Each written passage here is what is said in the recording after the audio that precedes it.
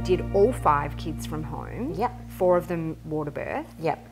Um, and and so they were quite talk me because you just love birthing. But didn't it? Did you not feel like you were going to rip in half? Like when you say you love it, I loved the experience, but oh my god, I've Oh, never. I it's mean, it's so, so, intense. hardcore. It is hardcore. It is really hardcore.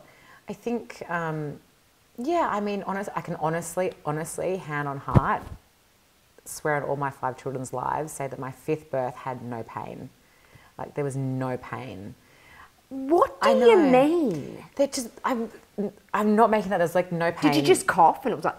No, no, no. We'll start with she. She was our smallest bub, so I have big babies. Yeah, like they're my, Yeah, like my fourth was 4.9 kilos, like a big boy, and he struggled to get out. That was a really challenging birth. So I was kind of expecting for the fifth. I had gotten to the headspace of I'm going to have a five kilo baby, and you're going to have to really bring it, Em, and you're going to have to work really hard to get this thing out. Wow. And then she was like, by my terms, really little. She was 3.55 kilos, and I mean, I had my mum in the room. I had all my four other children were there. My hubby was there. We had a photographer. I, at one point, it kind of felt like I was a one-woman show because Yeah, like, they yeah. were looking at me like this is kind of. I just had to ignore that and, and go within. And like even my mum said, she said, I reckon you had ten contractions in that whole labour. And I mean, I'm a very, I'm quite a.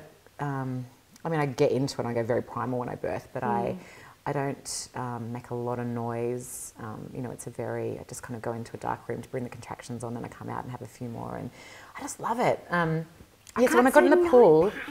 No pain, I swear to you. Are you worried that it's like massive down there? That's like no, no, it's not that at all. It's just Maybe I the mean, I baby think the water. before, Did 'cause you you have water births or no? No, I didn't. I Yeah. did hypnobirth, which I loved, Yeah, but it was still, I was like, I'm going to split in half here. Yeah, I mean, of course, I have moments like that. I think I had moments like that. I felt that with my fourth bub, the really big one. It's like Yeah. I'm- things are breaking and I'm not going to survive this.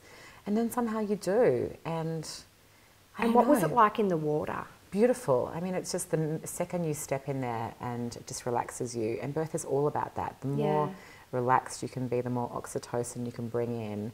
You know, if when you do that, that's adrenaline and everything seizes up. And of course, it's going to hurt to get something out.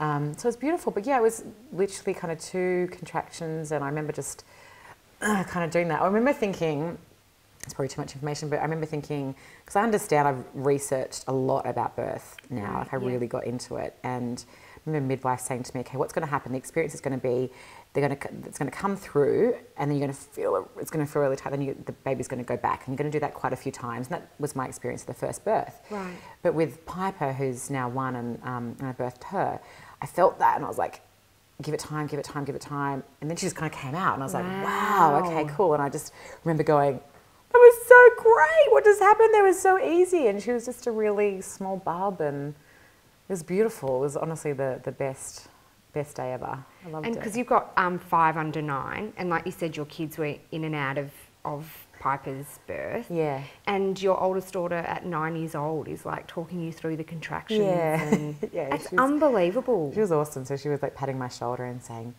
"Good contraction, mummy. You did really good in that one. You did really well." And like they're stroking my hair, and uh, I think, I think that's been a real gift to them as well to kind of see that it is possible. You know, of course, you don't know. You never know what sort of birth you're going to get. You never know what's going to come up, but.